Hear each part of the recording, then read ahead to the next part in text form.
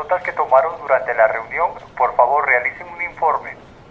¿Qué es esto? Olga, esto no fue lo que solicité. Corríjalo rápido que para ti ayer es tarde. A este informe le hace falta profundidad. Gabriel, ¿cómo te puedo ayudar? Olga, otra vez el mismo error. El informe debía estar listo hace rato, solucionelo. Pero... Qué buen trabajo, Gabriel. Nuestro grupo recibió un reconocimiento gracias a la labor de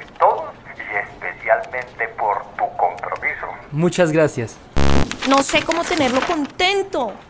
Un buen líder es seguido por su equipo de trabajo con compromiso y convicción, porque traza las metas y guía el camino para alcanzarlas juntos.